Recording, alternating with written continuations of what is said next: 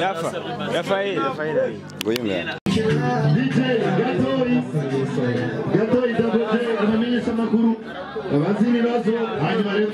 Muri show muri mutwe.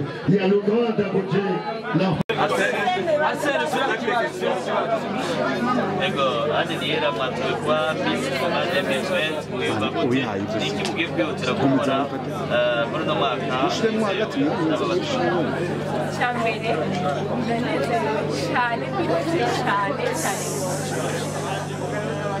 numva narengewe narengewe cyane ndanezerewe ndashimira imana ngaho ko jewe sinari bishobotse ariko imana hama ngiye gukora gushyira mu ngiro imigambi yaje yego nibashigikiye Miss Niera ni keke ibibazo mu bantu ba Miss bose bari bahari nkora rushije abandi abandi bagiye basiga muri katre ko Miss ko ni keke ibibazo ko ubuhe buhinga wakoresheje kugira ube Miss tukibaselekisione muri demi finale twese tukaja muri turiko turatitegura finale twari tubisibye twese nta kintu to spesiyale gihari ndarushije abandi uretse nagira ubwonko hama kandi yego kugaruka muri- kuri iyo migambi ku mugambi wanyu muri make Be muri make umugambi wanyu wa Ruje wavuga iki muri make? Umugambi wanje witwa fekari mu majambo yose usigura femme traditionnelle. Ni umugambi nawufashe nimviriye ku ngorane n'ibibazo abagabo bagira iyo eh, ingorane zitandukanye bifatiye ku ibyo violence bahura n'amaviolence atandukanye rero ayo maviolence agatuma badashika ku iterambere badashika ku iterambere ry'igihugu kandi tuzi neza ko ari bo bunga byatumye ninjira umugambi fekari hama ndabategura ko nzogira ikigo aho tuzobafashiriza mu buryo bwose mu buryo bwinshi hazobaho ama- inyigisho. Hazobaho inyigisho za entrepreneuria habeho n'inyigisho kandi zo kubateza imbere zo kubereka ko bashoboye no mu novuga ahantu hari abagabo benshi.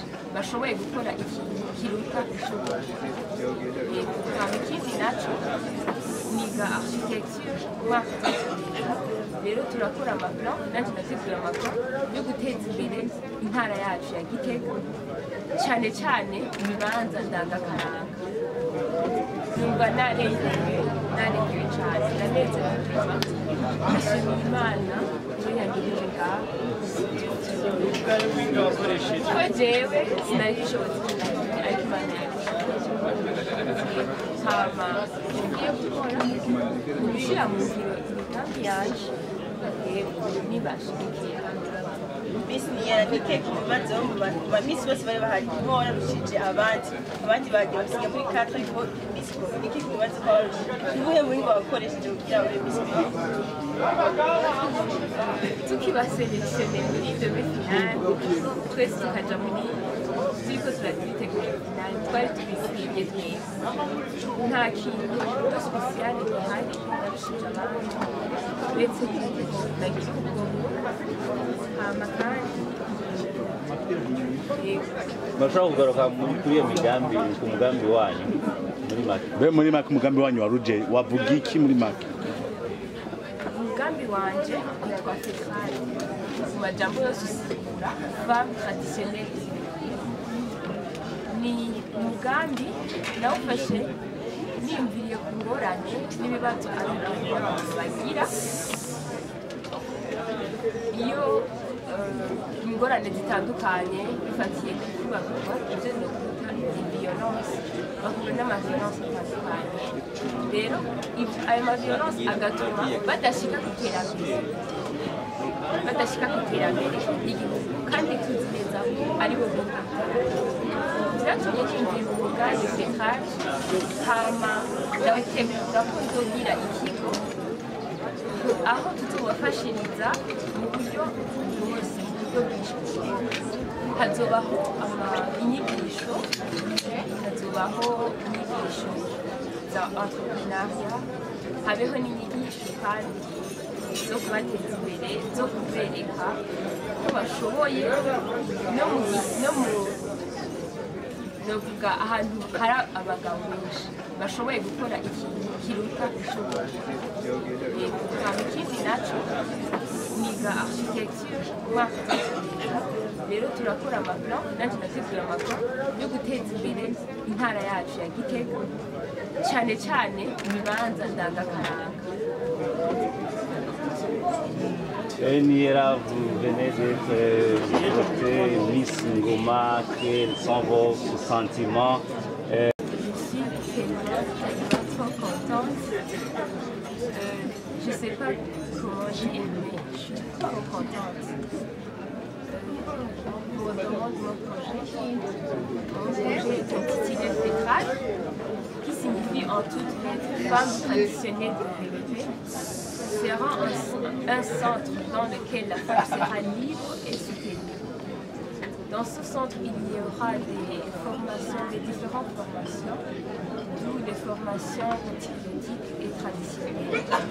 Aussi, les formations euh, d'entrepreneuriat, où les femmes auront, seront capables de créer leur propre métier. En tant que futur architecte, j'ai préparé des plans qui vont euh, élaborer des sites touristiques, car on sait bien que euh, là où le tourisme est renforcé, il y a le développement.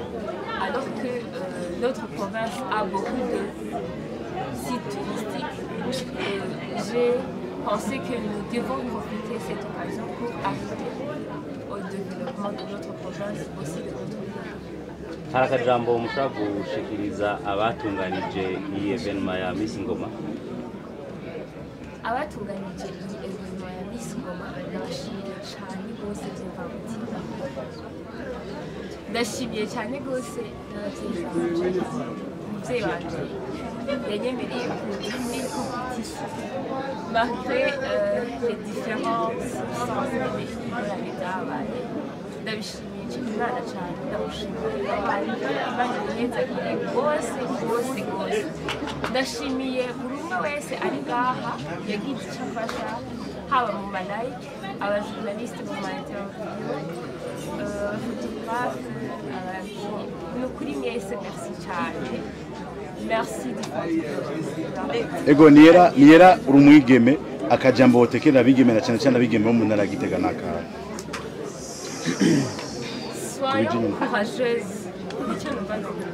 tugire umwete. Twese turafise ingabirano kandi nyinshi nyinshi cyane. Ariko hari igihe kenshi tuzigumana.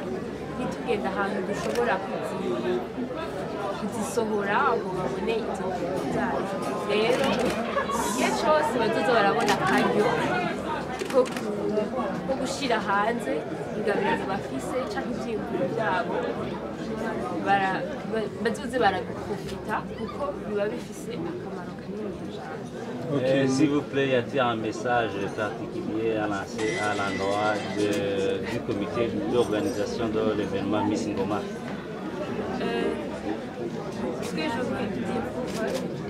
je les remercie du fond du cœur. Ils ont fait un grand travail qui a, qui a été bien organisé.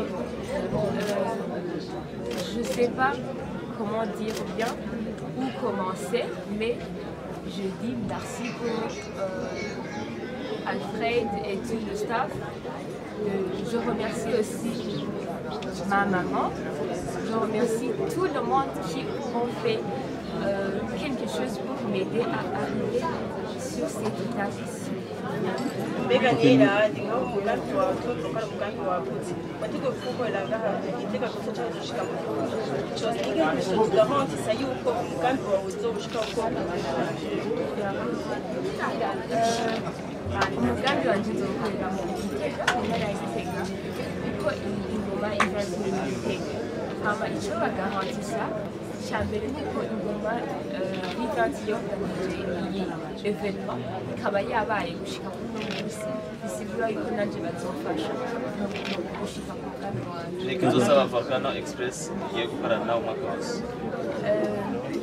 volcano cyambere ndayishimiye cyane kuko yarafashije cyane ingoma event hama bibaza icyo uyisaba ni iki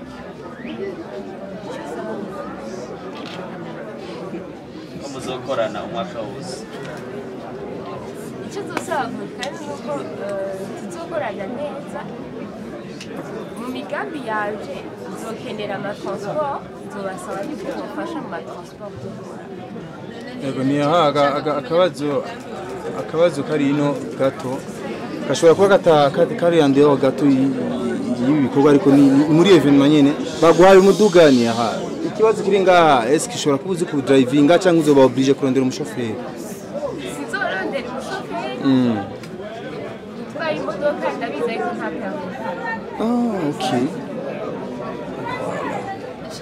Sunny hmm. ah, Sass